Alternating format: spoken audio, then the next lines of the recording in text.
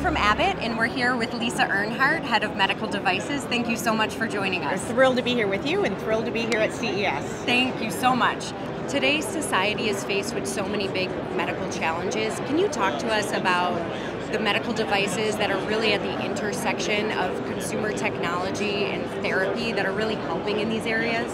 Yeah, you know, I think at Abbott we're so blessed to be working in areas that are huge chronic conditions where technology makes a significant um, improvement, has the potential to make a significant improvement in an individual's life or potentially even extending life. So, in chronic pain, in cardiovascular disease, in diabetes, all some of the biggest chronic healthcare conditions that we face in technology, and what we're doing there is at the forefront of solving some major problems.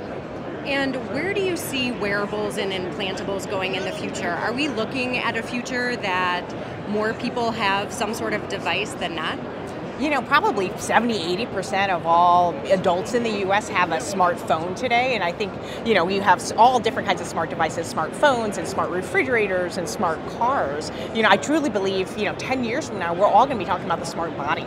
And that's because of some of the innovative technologies we have here at Abbott in terms of sensors, in terms of implantable devices, which are uh, continuously monitoring um, patients and really allowing us to take data and translate it into information. So we ultimately are driving clinical decision making. So it really is the holy grail in terms of where the future will be. And I, and I truly believe we're on the precipice of really leading the charge here in terms of the, making the smart uh, body reality. So true. And everybody, please stay tuned in to Abbott.com for more from the floor.